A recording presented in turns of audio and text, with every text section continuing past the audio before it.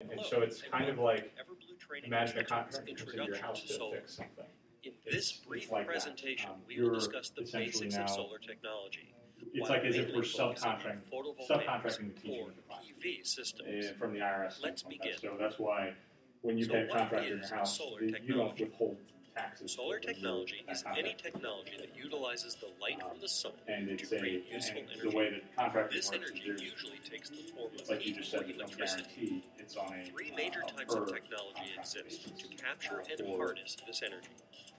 The first is known as solar thermal electric. For twelve weeks. This worth of work. technology focuses the light from the sun then that's also to make steam that powers a generator. Four hundred dollars a day. Next is solar thermal.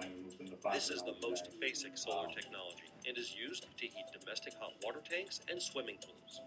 Last are photovoltaics or PV. I would say that's, This technology converts sunlight directly into That's fair. electricity. Over the last 10 years, PV has become one of the fastest Sure. growing renewable energy technologies.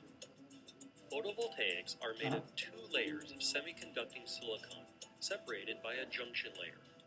As sunlight strikes the panel, electrons are released and flow in a folks on the circuit to power a load. So that's why with the two major types of photovoltaic systems are set up presumably with the as grid stuff would be tied or off grid. It would be the fifteen. Grid tied systems are the most common. They send any unused electricity directly to the grid. This system acts as a mini power plant, allowing the owner to sell energy back to the power company.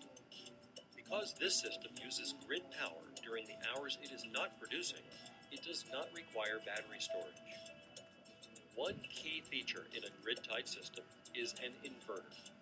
An inverter takes the direct current produced by the PV panels and converts it to alternating current. By converting the electricity to alternating current, it can then be sent into the grid. Off-grid systems are the second Yeah. major type of system setup. No These systems are completely autonomous and uh, independent from the grid. time, you're not beholden to They are best for those who need power in remote locations or for those who want to be energy independent. Off-grid systems store unused electricity in batteries. Batteries are essential to an off-grid system. The most commonly used batteries are lead acid. These are the cheapest, however they require maintenance Oh. and are extremely heavy.